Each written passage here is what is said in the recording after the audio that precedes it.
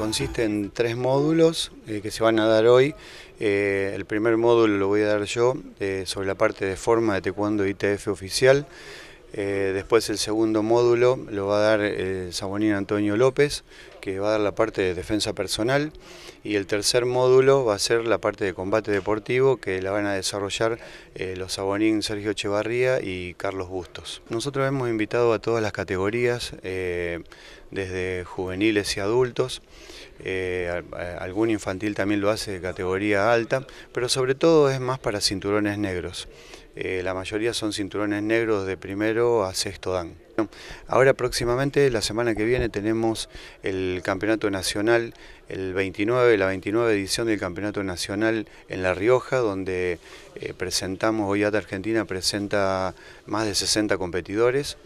Eh, va a ser en el Superdomo de, La Rioja, que es un estadio de última generación y donde se esperan más de 1.500 competidores.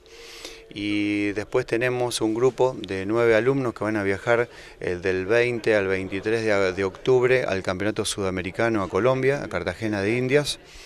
Y eh, por último, un, gran evento en Rosario va a ser la, edición número 13 del Campeonato Boyata Argentina, que se va a desarrollar el domingo 13 de noviembre en el Estadio Cubierto del Club Atlético Provincial. Ya es el tercero, este es el último después del Congreso de Deporte y Turismo en junio, el fin de semana pasado el en el hipódromo.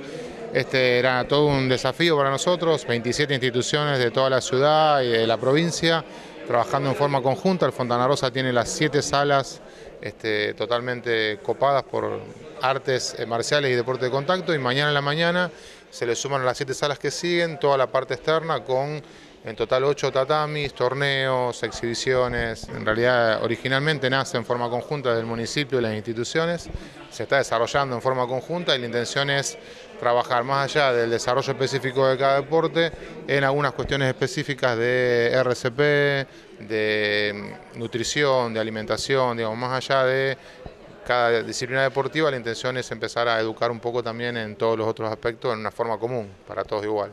Es muy importante que nos haya invitado la municipalidad, que siempre está eh, al lado nuestro en todas las actividades que hagamos nosotros desde el punto de vista deportivo así que, y formativo. Así que se lo agradecemos enormemente a la municipalidad en primer lugar. El ítem que yo toqué fue la metodología de la enseñanza en los chicos, eh, también en los adultos, un poquito de eso hablamos.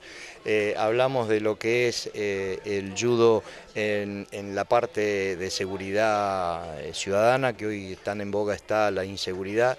Nosotros tenemos nuestro aporte, pero no solamente desde el punto de vista marcial como defensa en sí, sino como prevención en sí. El judo es muy rico en todo lo que sea prevención en la seguridad y principalmente hablamos del tema violencia de género, que también es muy necesario en la mujer hoy día conocer cuáles son sus derechos y sus, posibilidades de vivir bien y sin ofensas.